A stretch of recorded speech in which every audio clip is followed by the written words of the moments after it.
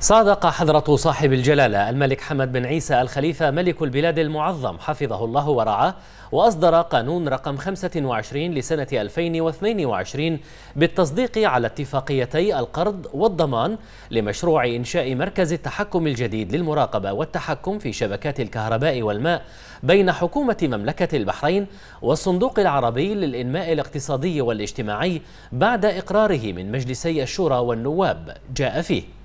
صودق على اتفاقيتي القرض والضمان لمشروع إنشاء مركز التحكم الجديد للمراقبة والتحكم في شبكات الكهرباء والماء بين حكومة مملكة البحرين والصندوق العربي للإنماء الاقتصادي والاجتماعي الموقعتين في مدينة المنامة بتاريخ الثاني والعشرين من نوفمبر 2021 والمرافقتين لهذا القانون.